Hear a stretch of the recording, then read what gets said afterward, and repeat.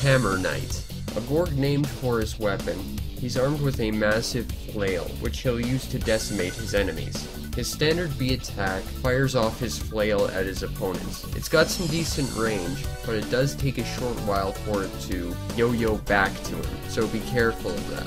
His X ability has him fling himself at his opponents while hurling his flail around him. This is a good area of effect attack, as well as getting yourself out of the way slightly faster than you normally would. Beyond this, Hammer Knight's weakness is the fact that he is limited to these two attacks, but he can certainly do serious damage with them, as well as having a ranged edge against most opponents, which might take your opponent off guard.